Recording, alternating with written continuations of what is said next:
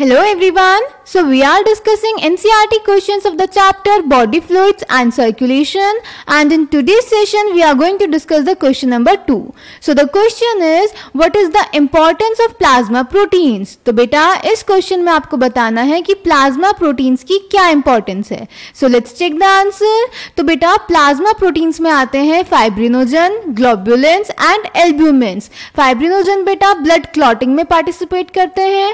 Globulin albumins defence mechanism में participate करते हैं और एल्ब्यूमेंस बेटा ऑस्मोटिक बैलेंस को मेंटेन करने में हेल्प करते हैं clear so answer number two is fibrinogen globulins and albumins are the major plasma proteins fibrinogens are needed for clotting और coagulation of blood globulins primarily are involved in defence mechanisms of the body and the albumins help in osmotic balance so I hope this question is clear to you thank you